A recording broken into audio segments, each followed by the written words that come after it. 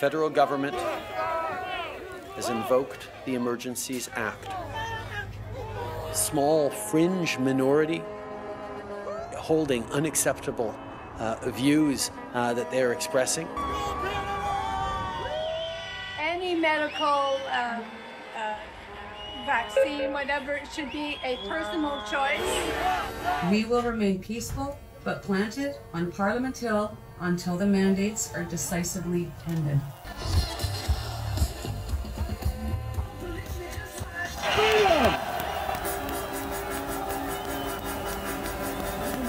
We're not suspending fundamental rights or overriding the Charter of Rights and Freedoms. The Constitution of this nation, not the Emergency Act, the Constitution of this nation is the supreme law of Canada. The truckers are not insensitive to the fact that they are in a city. They're in a city where there are citizens who also have rights and freedoms, and that they must be respected. At the same time, the truckers' rights must be uh, respected. This is again a government overreach. We don't do these kind of things in, in Canada. We engage in dialogue. And it's my understanding that the government of Canada has not reached out once to the truckers since they have arrived in this capital city. We are not limiting people's freedom of speech. We are not limiting freedom of peaceful assembly. We are not preventing people from exercising their right to protest legally.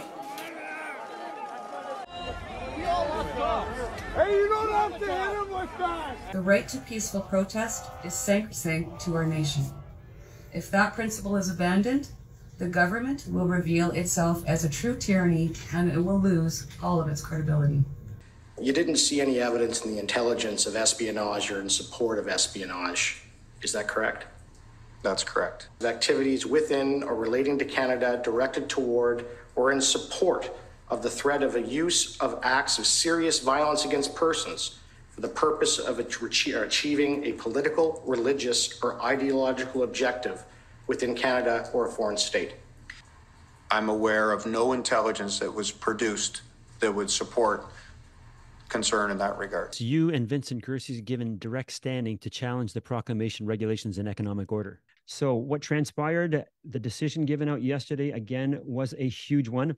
Justice Mosley saying, I have concluded that the decision to issue the proclamation does not bear the hallmarks of reasonableness, justification, transparency, and intelligibility, and was not justified in relation to the relevant factual and legal constraints that were required to be taken into consideration. Ultimately, there was no national emergency justifying the invocation of the Emergencies Act. It's an incredible, jubilant time right now for Canadian history. Um, what does this mean, this decision for Canadians going forward? Well, you know, it, it gives Canadians vindication that, you know, standing up uh, you know, in support of your uh, charter rights and freedoms is worthwhile. I mean, we've had some pretty dark days in the past three years, and for this decision to come forward, especially now, um, gives renewed hope to every Canadian that was involved and thought that their country is lost. And now we know we, with a glimmer of hope, that we're going to win this, and you know that hopefully the, the, you know the courts should they appeal this you know it, we're not based on political opinion that we're actually basing decisions on the rule of law.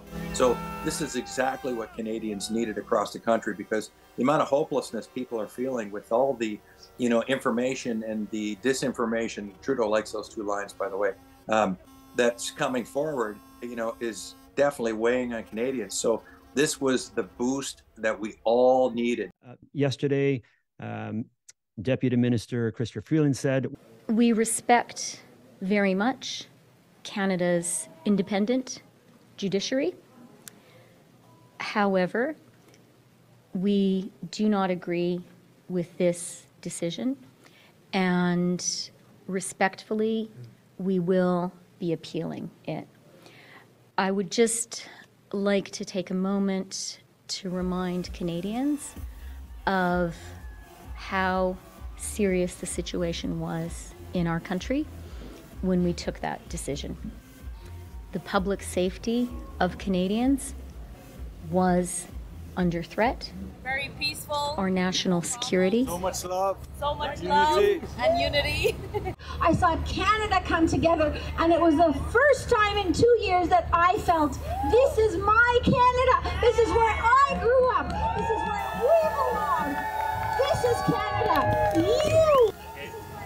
Uh, my name is Jean-Philippe. I'm from uh, Chicoutimi, Saguenay.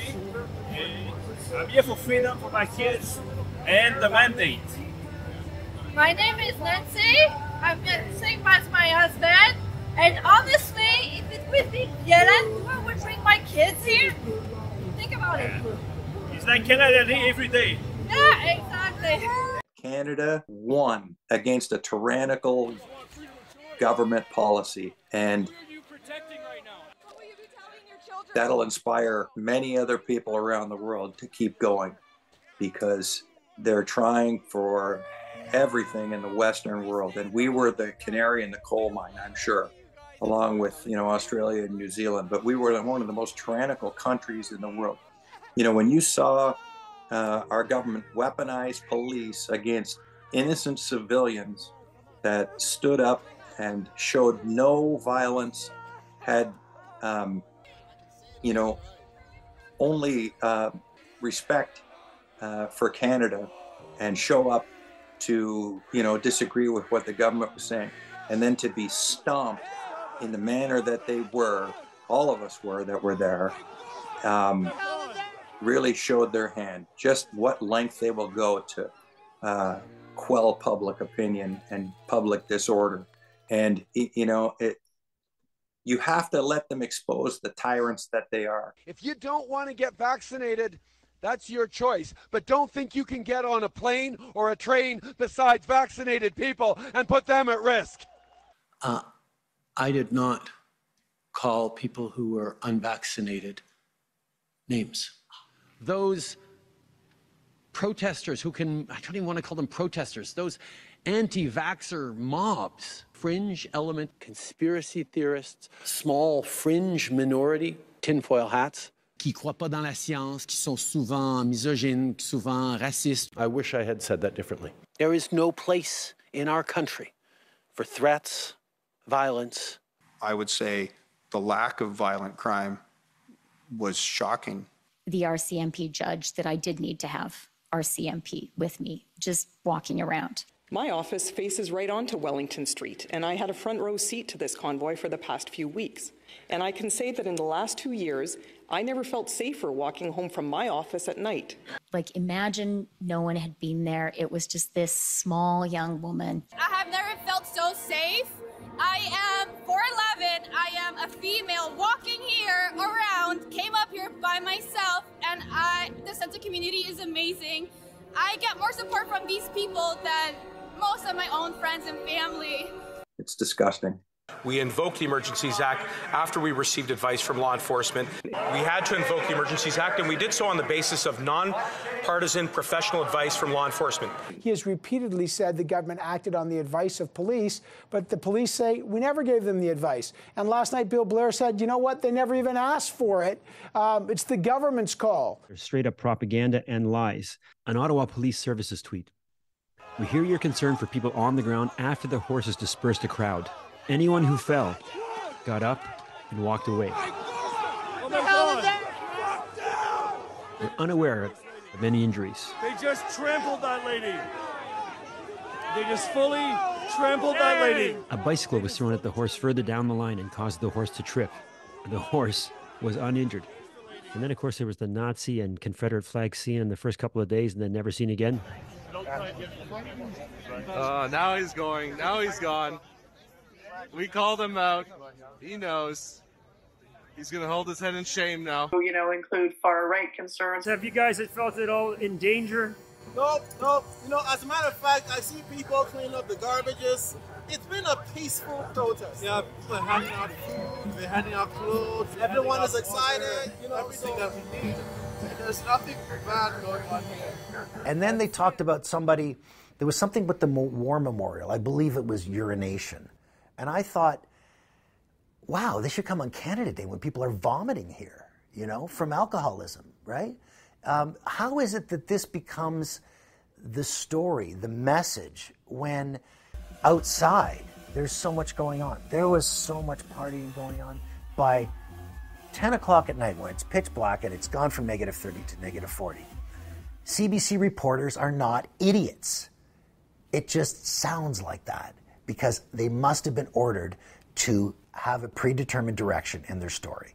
The standard of journalism that I was required to work for, to work to, for 20 years was not being followed. It was an advocacy for a point of view. They electrified history, they electrified the world to spark this massive shift in the narrative. I mean, the mandates were brought down after that. March 9th, 2022. A look at Ontario's timeline for lifting all COVID measures. On March 14th, vaccination policies will no longer be required in hospitals, long term care homes, schools, and childcare settings. By March 21st, mask mandates will end in most places, including schools and childcare settings. And by April 27th, essentially all public health measures against COVID 19 will end. And on June 13th, 2022, Ottawa announced a suspension of vaccine mandates for domestic travel and federal employees. You know, the government will never say this, media will never say this, but it shows that the power is in the people and it's not the people in power. You retired your boots from the Canadian Armed Forces, but you never gave up your service to Canadians and for freedom. Why is it such a deeply important thing for you? It, it, it's everything. I mean, think about it. Um, if you don't have freedom, you have nothing.